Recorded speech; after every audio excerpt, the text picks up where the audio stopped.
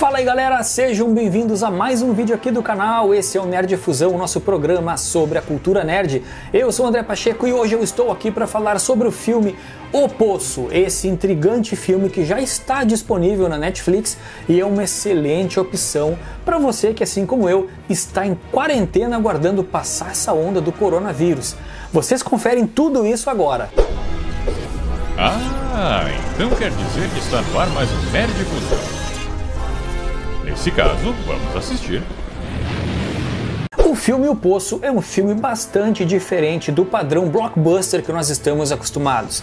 O filme O Poço é um filme cheio de simbolismo, é um filme filosófico que nos obriga a pensar. É um filme que nos obriga a colocar nossa percepção sobre a conclusão final da trama desse filme. Assim como o filme Mãe, esse filme O Poço é um filme repleto de mensagens subliminares. E é sobre isso que eu quero falar com vocês hoje. Eu quero fazer uma análise rápida desse filme e trazer para vocês qual é a minha percepção, qual a mensagem que esse filme trouxe para mim nesse momento completamente complexo e obscuro da nossa história enquanto sociedade. É um filme completamente propício para esse momento que nós estamos vivendo agora. Mas antes de começar essa análise, eu tenho que dizer para vocês que esse vídeo vai ter muitos spoilers. Então, se você ainda não assistiu o filme, eu recomendo que você assista primeiro o filme e depois venha aqui trazer a sua percepção. E se você ainda não conhecia o nosso canal, eu peço que você se inscreva aqui no canal e ative as notificações, que além de estar ajudando o nosso projeto a crescer, você vai receber em primeira mão todos os nossos vídeos sobre tudo que tem de melhor na cultura pop.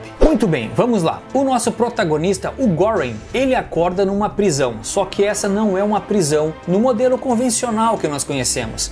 É uma prisão que não tem uma cela do lado da outra, ela é uma prisão vertical e em cada andar dessa prisão nós temos dois prisioneiros. E no meio dessa sala que eles estão presos, nós temos um buraco retangular que passa uma mesa flutuante com um banquete em cima.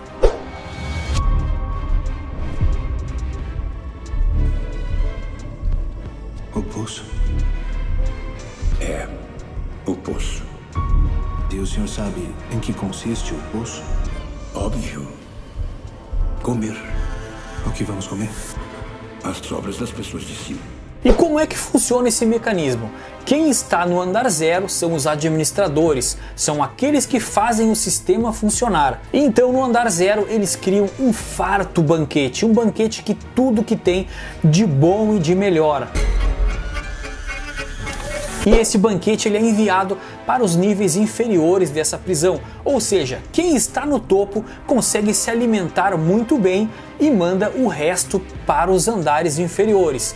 Só que vai chegar num ponto que não vai sobrar nada para ninguém. A partir do andar 50, todo aquele banquete já não tem mais nada, está tudo vazio e as pessoas começam a simplesmente perder a sua sanidade, perder a sua dignidade e ficam dias, até uma semana sem comer.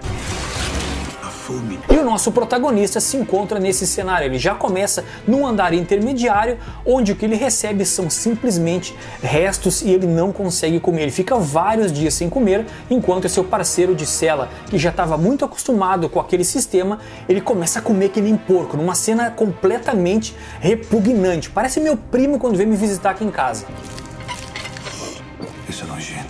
Cada um desses prisioneiros leva consigo um item pessoal e o nosso protagonista levou um livro do Dom Quixote. Guarde essa informação porque no final eu vou tentar mostrar para vocês por que, que eu acho que ele estava com esse livro do Dom Quixote. Olhando para esse sistema onde quem está no topo, quem é privilegiado, consegue se beneficiar e manda restos para os demais sem se importar com a dignidade de ninguém, já é para mim a primeira crítica social, onde nós temos os administradores como se fosse a nossa burguesia, como se fosse o nosso sistema, como se fossem os nossos governantes, enquanto nós temos aquelas pessoas um pouco mais privilegiadas que conseguem comer, conseguem usufruir do sistema e não se importam com quem está nos níveis inferiores. Essa é a primeira crítica social que eu consegui absorver desse filme e faz todo sentido, pessoal. E a segunda crítica social é com o nosso protagonista Ele inicialmente entrou nesse sistema, ele tentou ser resistente, ele viu que ele não ia conseguir comer aquela comida estragada que ele recebia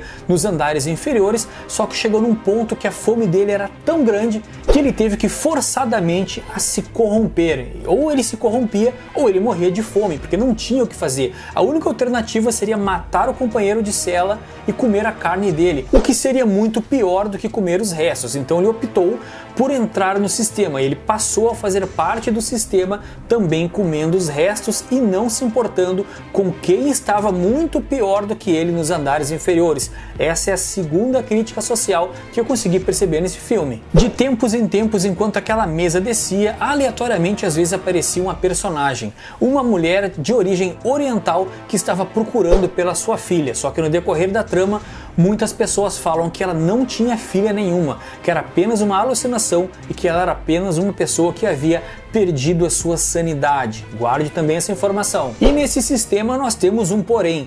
De tempos em tempos, um gás subia, fazia as pessoas adormecer e aleatoriamente eles acordavam em andares diferentes. Ou seja, aquele que estava lá no andar 200 sem comer há uma semana, ele poderia acordar no andar 10, no andar 15, no andar 30 ou qualquer outro andar aonde ele teria acesso à comida. E aquele que estava no topo poderia simplesmente acordar lá embaixo e ficar uma semana sem comer. E qual é a crítica que eu percebi nesse mecanismo? Aquele cara que passou por todas as dificuldades, que estava lá no andar 200, que ficava uma semana sem comer, quando esse cara ia próximo à burguesia e ia para os andares superiores, onde ele poderia comer até não aguentar mais, esse cara também passava a não se importar com quem estava abaixo dele e ele fazia parte do sistema. O que mostra que nós, enquanto seres humanos, somos muito egoístas e infelizmente poucos se importamos com o nosso semelhante. Essa é mais uma crítica social que eu absorvi desse filme. Só que tudo muda quando o nosso protagonista resolve quebrar o sistema. Depois de quase ser devorado vivo pelo seu companheiro de cela, aquela personagem oriental ajuda ele, ela acaba matando o companheiro de cela dele, ele acaba obrigatoriamente comendo a carne do seu companheiro de cela para não morrer, e aí ele resolve quebrar o sistema. E qual era o plano para quebrar o sistema? Em determinado momento, o protagonista ele acordou num andar muito superior, num andar que ele teria acesso a praticamente quase todo aquele banquete. E o que, que ele decidiu com o companheiro de cela? Que ele iria descer junto com a comida e cada andar que ele passasse, ele ia deixar uma mensagem e impedir que as pessoas chegassem até a comida. Se todo mundo comesse só o que precisa, a comida chegaria a um nível mais baixo. Depois do andar 50, ele ia começar a dividir essa comida de forma que todos tivessem acesso a comer o mínimo necessário para sobreviver. E nessa descida até o andar 200, eles iriam preservar uma panacota, uma espécie de bolinho que depois, quando estivesse lá embaixo, eles iam mandar como se fosse um recado para os administradores, um recado de esperança e um recado que eles conseguiram quebrar o sistema. Só que o plano deles, infelizmente, não dá muito certo. Eles achavam que teria somente 200 andares e eles ultrapassam o andar 200. Eles continuam descendo sem parar e chegam até o andar 333. Como nós temos dois prisioneiros por cela, 333 vezes 2 é igual a 666. E eu não preciso nem dizer para vocês o que, que o número 666 representa no simbolismo, pessoal. E quando eles chegaram lá no fundo do poço, eles encontraram a completa escuridão.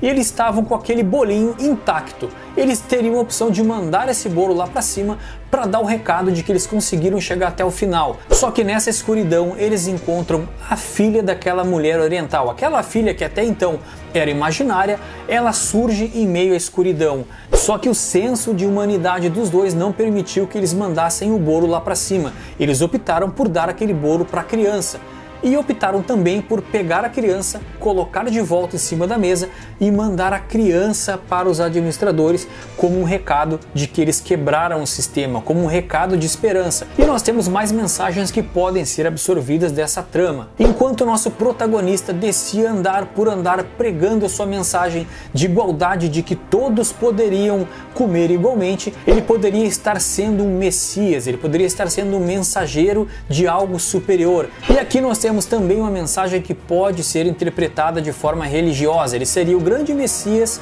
transmitindo a sua mensagem e ressuscitando através daquela criança, porque ele estava lá na escuridão, o que representaria que ele não conseguiria mais voltar. Ele se sacrificou pela humanidade e enviou aquela criança pura lá para cima como uma forma de ressurreição. De tempos em tempos também ele tinha sonhos, pesadelos, com um amigo de cela que morreu, com essa personagem oriental. E nós temos também a clara mensagem do comunismo versus capitalismo. No filme exposto de forma muito clara que nenhum dos dois sistemas por si só funcionam sozinhos. É necessário meio termo, é necessário um pouco de sacrifício de ambos os lados. E essa é uma das principais mensagens que eu vi nesse filme. Por que o nosso protagonista estava com o livro do Dom Quixote? Para quem não lembra, na literatura, o Dom Quixote é um cara apaixonado, um cara romântico que parte em aventuras com seu fiel escudeiro Sancho Panza em busca de um mundo mais igual e para provar o seu amor por uma mulher imaginária. E nesse filme nós temos uma mulher que pode ser imaginária. Essa mulher oriental pode ser que ela seja uma alucinação dele. Isso também não ficou muito claro no filme. Bom, galera, essa foi a minha análise do filme. Eu espero que não tenha me estendido muito. E se você tem uma leitura diferente, se você viu outras mensagens, por favor, deixe aqui nos comentários que vai ser um prazer discutir isso com todos vocês. Por enquanto é isso, eu vou ficando por aqui. Um abraço a todos e até a próxima, pessoal.